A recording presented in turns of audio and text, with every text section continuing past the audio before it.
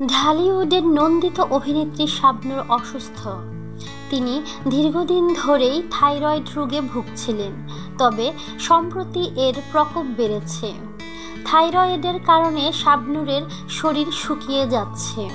শাবনুরের বাবা শাহজাহান চৌধুরী জানান, দীর্ঘদিন ধরে শাবনুর থাইরয়েড রোগে ভুগছেন। হঠাৎ করেই ওর সারা শরীর কেঁপে ওঠে। পুরোপুরি সুস্থ হতে এক বছর তাকে চিকিৎসা নিতে হবে। দু হাজার এগারো সালের ডিসেম্বরে যশোরের ছেলে অস্ট্রেলিয়া প্রবাসী অনিক মাহমুদকে বিয়ে করেন শাবনুর।